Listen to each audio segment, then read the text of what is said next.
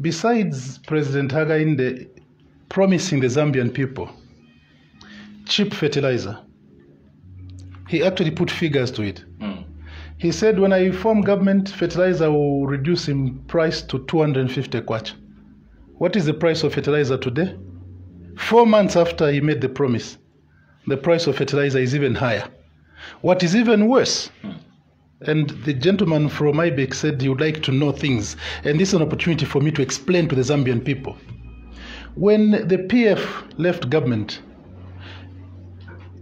Ministry of Agriculture was buying fertilizer at a price of $1,000 per metric ton. 1,000 per metric ton. And President Hakainde said, This is very expensive. They are extorting money, they are sharing money from fertilizer. He promised the Zambian people, I'm going to reduce the price.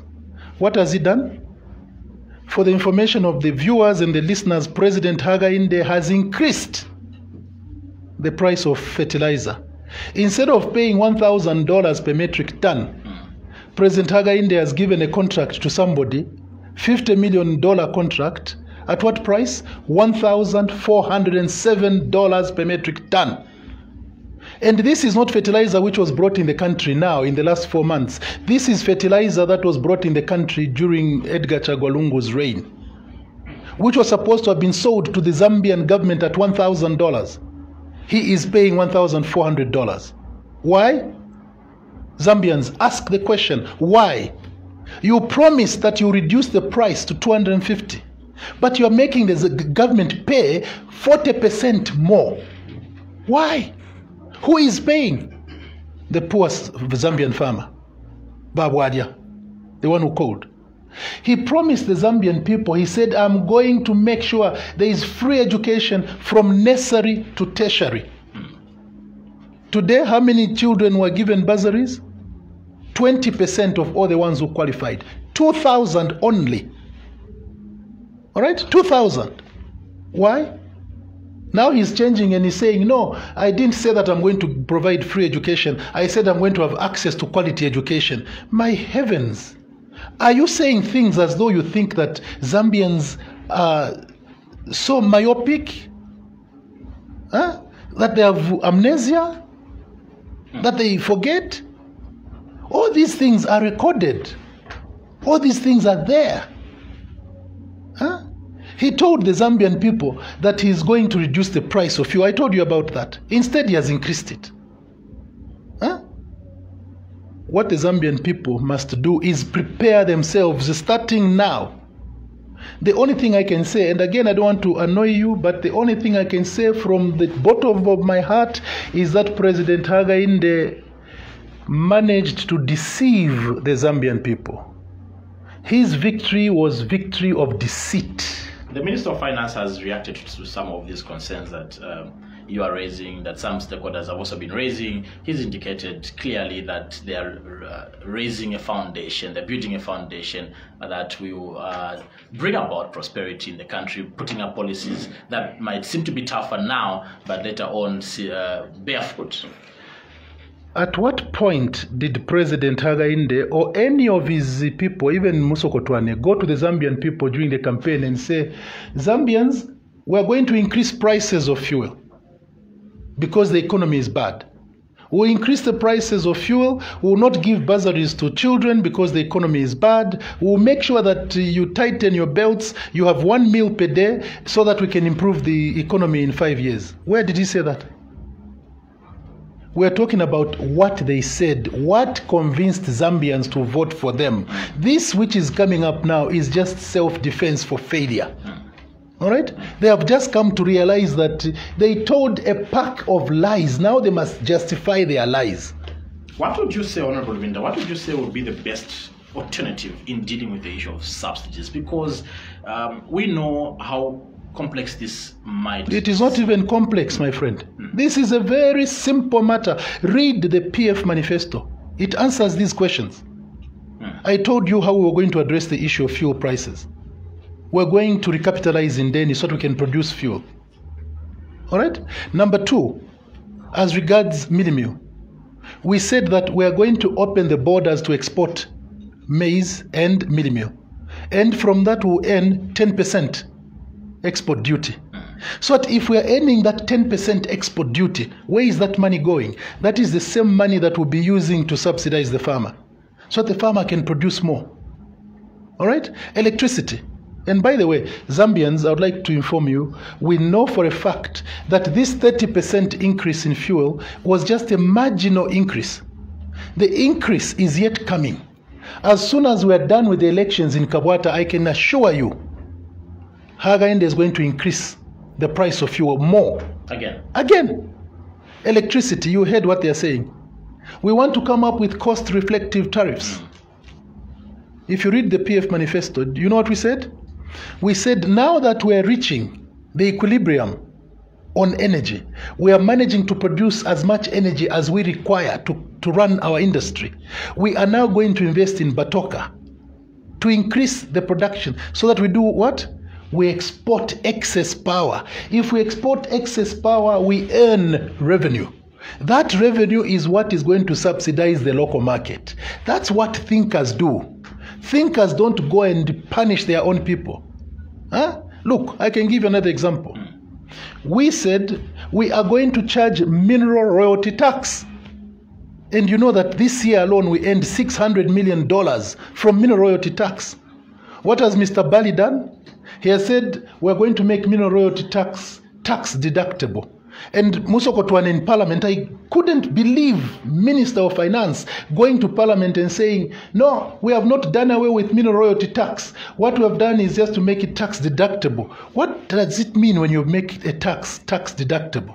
What it means, my dear friend, is that if this company A pays 100 million kwacha as mineral royalty tax, at the end of the year, if they make a profit, and on that profit, income tax is 200 million, what will you do? You will not collect the 200 million. All right? You will deduct the 100 million that was paid to the government as mineral royalty tax and only collect 100 million as income tax. What does that mean? Did you collect mineral royalty tax? No. Huh? You take with one hand and give with the other, and you say, We're not removing mineral tax. That's exactly what they have done. And in addition, this government, the first 100 days, when they are supposed to be celebrating, the first 100 days, they reduce corporate tax from 35% to 30%. Okay? Giving money to their friends. Because these guys are businessmen. Huh? The majority of the people in Bally's government are businessmen. They are giving themselves tax rebate 5%. What about for you, a worker? They only increased your tax free threshold from 4,000 to 4,500 kwacha. Is, isn't that And commendable? commendable. Hmm. I don't think that the workers out there will be happy with you. 12% increment for civil servants, not commendable. You increase 12% on their salaries and increase on their fuel by 30%. What have you done? What have you done? When we left government, minimum was uh, 150. Today, if you go in shops, minimum is 175 kwacha. What is the 12%? Huh? You say we're giving now no PTA fees, no school fees. Fine, no school fees. But we're going to increase the cost of you taking your children to school because all of them have to drive to school. I heard Minister Musokotwane saying, no, this increase will not affect farmers. It will not affect people in villages. Are you sure? The people in villages, how do they plow? How do farmers plow if it's not with, with fuel? Are you sure that those villagers walk to hospitals? Their children learn in their village, in their house? No. What's your take? What's your take on, on, on the CDF allocation from 1.6 to 25.7? For me, that is just a smokescreen. It's actually abuse of members of parliament. Serious abuse. And again, it is because these people do not even understand the genesis of CDF. CDF came about as a way of a private member's motion. Two members of parliament raised the issue of CDF and they were complaining that, look, President uh, Chiluba, you have this slash fund which you are using to give to churches and so on. But for us, when we go to constituencies, people are also asking us, and we don't have. All right? That's how the CDF came about. Now, you go and make a member of parliament also become the executive to start implementing projects. Huh? You heard what Musokotwane was saying when they were winding up debate. Now you are going to the constituencies. You shall be followed with 25.7 million. So, members of parliament, you now have to go and construct schools. You have to go and construct clinics. You have to go and give bursaries to pupils, and you have to replace the PTA funds and Good heavens, if a member of parliament is going to become part of the executive, is going to execute projects, who is going to perform the oversight role? Who? Tell me, this member of parliament, Clement Tembo, incoming member of parliament for my constituency, when I see him on the street, what will I say to him? Clement Tembo, can you please make sure that that clinic is done? All right? And then he goes to that clinic and does a bad job of it. Then he goes to Parliament and his Ministry of Health to be debated. Are you sure Clement Tembo will stand up and say, I am a member of Parliament elected by the people of Kabwata and you, Minister of Health, can you explain? Will he do that? He will be compromised because he was part and parcel of the decision to provide that clinic. There, there are committees, Honorable Lubinda, that, that are there, CDF committees. Last week I was having a conversation with the Minister of Water Development, Honorable Mike Mposha, who also indicated that these there are committees uh, at constituency level that have been constituted in various, various constituencies that will be spearheading these things. Of course, a member of parliament is part of that committee. I was I was Minister of Justice when we came up with a Constituency Development Fund Act. Hmm. So I understand it very well. All right? I understand it very well. And at the time that we're coming up with that act, it was because the money that we're talking about was only 1.6 million, which was meant to be used as a complement. It was only a complement for small projects, hmm. not for members of parliament to go and start constructing schools for goodness sake. No. So it should have been maintained at the same. As a matter of fact, the members of parliament are now going to be even more impoverished. Because even the 1.6 million that they were getting, oh, sorry, I shouldn't say ka, chi. I'm joking with you. Even that ka 1.6 million which they were getting, hmm. huh, now will not be there at all.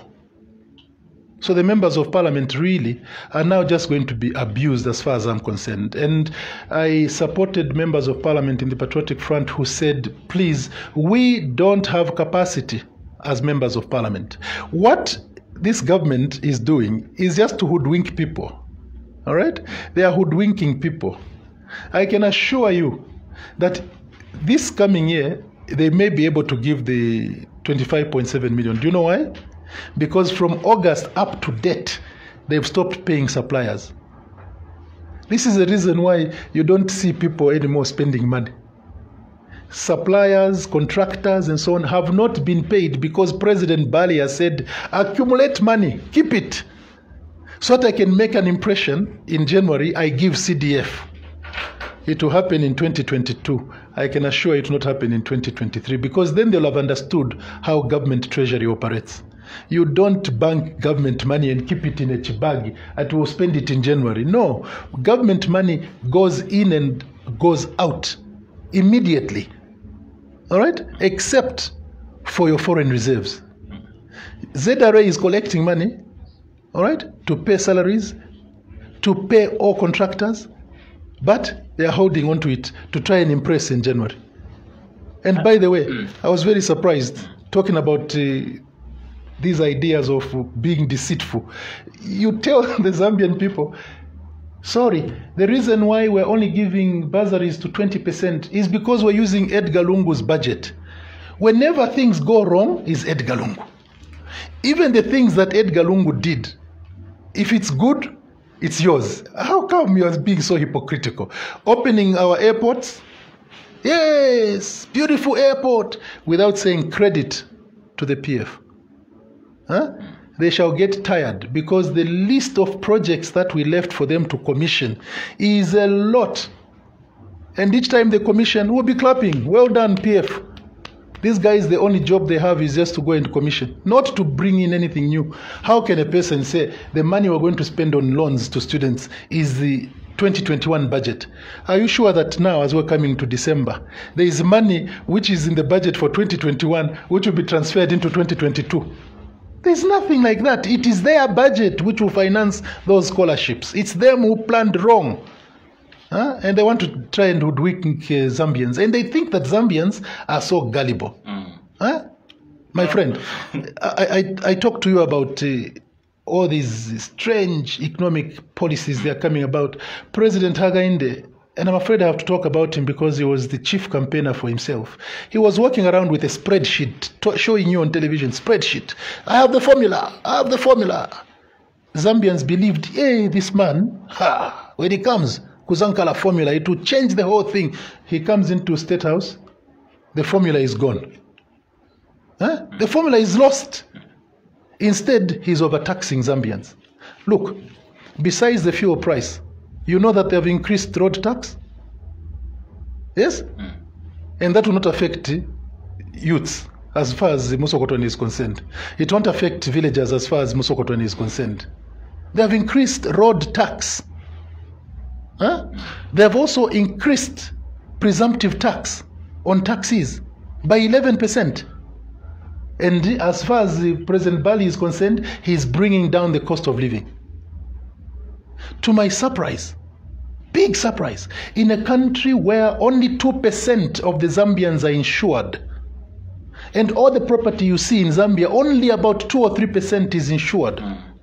Motor vehicles, if you go out, go to Ratsa and ask, most of the motor vehicles in Zambia are insured third party because of the law. People don't insure in Zambia, they don't. And we in the Patriotic Front were saying we must make sure that Zambians insure. That's how we came up with a crop insurance of 1%. To make sure that we protect people. This government has decided to increase levy on insurance premiums. We left it at 3%. They have increased it to 16%. So, my friend, if you're insuring your car and your premium on your third party was the only 500 kwacha, now, my friend, it is going to be 500 plus 16%, close to 660 kwacha. That's what is going to be the cost of insurance. Are you sure people will insure? Now people will start buying premium on a daily basis. Huh? And when there are accidents, what will happen? Let's Is this a government that is living up to its word? No. let's let, let, let's close there are a lot of issues that we can talk about let's let's close before i bring in because I, I want also uh, mr clement tembo in a minute or so to just uh, speak to our viewers tonight but before he comes through very interesting matter of street vending uh, it, this has been a very interesting subject. Former President, uh, the late Michael Sata, attempted at some point to get rid of street vending, uh, which never worked. The new Dawn has made some directives to get rid of street vending. This hasn't been received well by members of uh, the public. I think this was expected. I think the question that is needed to be answered here is what is the best strategy in dealing with the issue of street vending? Zambians are starting to realize that it was a big mistake to vote out the PF. And a lot of people are saying we did not vote for UPND, we voted against PF. Huh? And it so happened that the only party that uh, benefited from our voting against PF was UPND. Because a lot of people have come to realize that the PF doesn't even have an idea on how to govern. They don't. And over this matter of uh, street vendors, it is as though our friends live in utopia. They live in outer space, they don't live in Zambia. For those of us who live in Zambia, we know the hardships that those people on the streets are facing. Those people are on those, those streets not because they desire to be there. That's not the issue. There are other fundamental factors which this government is not capable of understanding. We tried, and you're right, President Michael Sata tried. You remember he was uh, saying, I'm jik, I'm in case I'm kuchapa. Him, he didn't hide. Even in the campaign, he said, I'll come and clean Zambia. I'll come and sweep the streets. He told street vendors. But once we were in government, he came to realize that, wait a minute, These people I want to kick out of the streets have families to take care of. All right? Something he didn't realize before. He didn't realize that before. And this is the beauty with a person like President Michael Chilufya Sata. All right? Once he was in government, he understood and he quickly changed his position. He did not tell the people, I'll keep you here during the campaign to win his, their vote. No. That's what the kind of man he is. He's not deceitful. Huh? Deceitful people are the ones who tell people, yes, in the road shows, you will stay here. And then when they form government, they say, get out. Those are deceitful people. A person who tells you, Chiluba, remember? Chiluba, when he was going around campaigning, he was saying, Zambians, are you ready to sacrifice? And all of us were saying, yes. Remember? What about Bally? Bally was not telling people you're coming to sacrifice. Bally was telling people, when I come, I am the panacea of all your problems. I shall solve all your problems. And people fell for that uh, deceit. But now his true colors are showing. He lives in utopia. He thinks that those people along the streets are making Lusaka dirty and they must be kicked out. They must be taken, I don't know where. Hmm. The solution Is to leave them there. the, no, hmm. the solution is what the PF had already started. You saw that huge millennium market, right? Simon Mwema? Yes, the hmm. Simon Mwewa Lane. Hmm? Why were we building that? We were building that because we wanted our brothers and sisters to have a place where they can go and trade decently. You don't just wake up and say, Come on, soldiers, remove these people. Where are they going? Where are you taking them to? So it's to create alternatives. You create alternatives. And the PF government, which is a pro poor government, already started doing that. And I can assure you, in five years, 2026, when government comes back, PF comes back into power. You are all- coming back into power. I have no doubt in my mind. I have no doubt whatsoever. You think you are popular enough to come back? watch the space. Just watch the space. Look at how formidable the Patriotic Front is. Remember what I said. People did not vote for UPND. People voted against the PF because of the various reasons I gave you at the beginning of this program. And we are determined to learn from our past. We are determined to become even better as a political party and as individuals in the political party. And because of our lessons, when we do come back in 2026, by the will of the people of Zambia, we will form an even stronger and better government. We will do things even better than we did in the last 10 years when we were in government. Honorable Lubinda, thank you so much for coming through on uh, the last edition of the platform for the year 2021. You've been my last guest for this year on this platform. Thank you very much indeed, and thank you for inviting me. I hope that uh, the people out there have learned a thing or two from our interaction. And uh, I have to say, if uh, the word car is not very nice on this television, uh, I'll learn. I'll not use it ever again uh, with anybody. Uh, I'll find a better way of expressing things like that. But in on a serious note, thank you very much for hosting me on your last platform for the year. I look forward to your invitation in the new year. And as we part company, I would like to seize this opportunity to wish you and uh, Millennium uh, Television, Millennium Radio, and to wish all your viewers and your listeners a very prosperous 2022. I hope that all of us who, by the grace of God, be uh, allowed to enter 2022 happily. There are going to be challenges, but uh, the challenges as a result of how we voted, unfortunately, and we hope that things can only get uh, get better and not worse. I also would like to wish uh, President uh, Bally, President Hakainde, and his team uh, prosperous 2022. We in the Patriotic Front are going to be a very responsible opposition. We will not oppose just because we want to oppose. Our members of parliament will not walk out of parliament just because they think they can walk out of parliament. We are going to give very effective checks and balances for the President of the Republic of Zambia so that he can deliver on his promises. We are also going to get all the articles that he was using to campaign so that we can remind him in case he has forgotten, so that he can deliver on his promise for the betterment of the Zambian people. Thank you very much for having me, and thank you for allowing Clement Tembo to also come and uh, greet the people of Kabwata constituency.